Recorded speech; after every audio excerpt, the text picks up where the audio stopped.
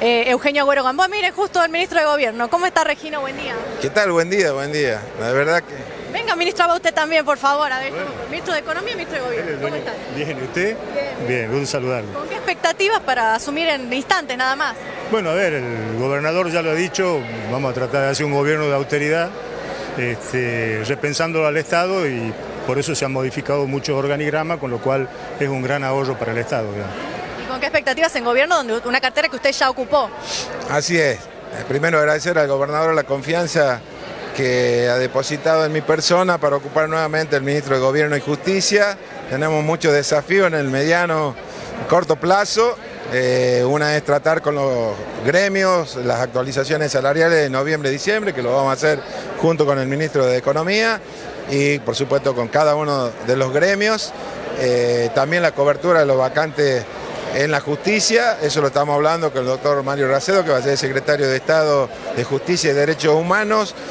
Vamos a tratar la primera sesión, estimamos que va a ser para tratar el presupuesto y a partir de ahí, las tres sesiones siguientes, vamos a, tratar de, de cubrir todas las vacantes, que son más de 50 en las que tenemos en el Poder Ejecutivo y por supuesto muchos desafíos más de cuatro secretarías de Estado que tenía este ministerio, eh, han pasado a ser ocho si contamos la representación oficial en- en- de Tucumán en Buenos Aires, por lo tanto hay mucho trabajo para hacer, pero tenemos ¿Sisto también... Terán en ese lugar finalmente? ¿Cómo, perdón? ¿Sisto Terán va a quedar en ese lugar?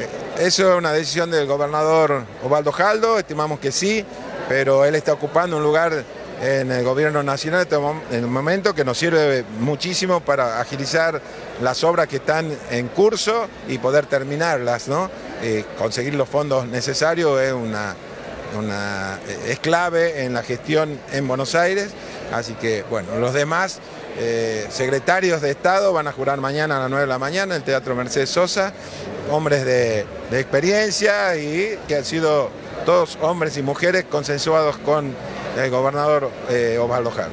Contador, eh, dijo Jaldo recién en su discurso que no le va a temblar el pulso para achicar el gasto, el gasto público específicamente.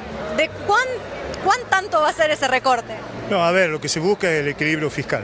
Eh, digamos, la consigna es no gastar más de lo que se recauda.